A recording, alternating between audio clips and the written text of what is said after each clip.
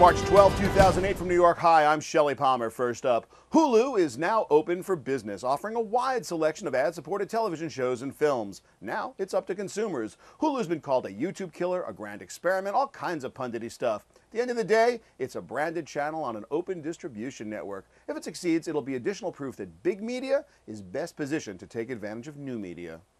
Early this morning, YouTube announced a new set of developer APIs that'll make it possible to upload, manage, search, and play back YouTube videos on all kinds of devices.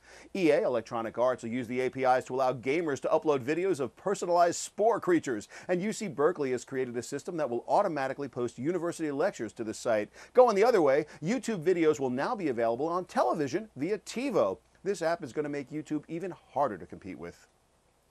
Nielsen will offer second by second ratings using data collected from Charter set top boxes in 320,000 Los Angeles homes. It is a clear response and decisive response to new competition from TiVo and TNS Media.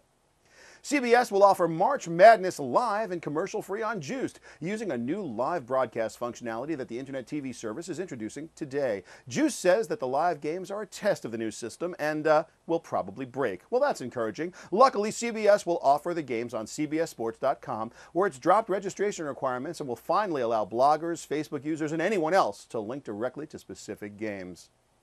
Jeff Immelt told GE investors in his 2007 annual report that the company should not sell off NBC Universal, saying it just doesn't make sense. Immelt was trying to squash rumors of a potential sale that have recently appeared in major publications. Good luck with that, Jeff. Everyone in the business thinks that NBCU is being prepped for sale.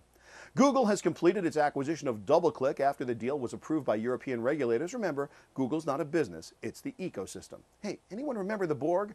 And that's Media Bytes, stardate 31208. Visit ShellyPalmer.com for news you can use about technology, media, and entertainment. For Media Bytes, I'm Shelly Palmer.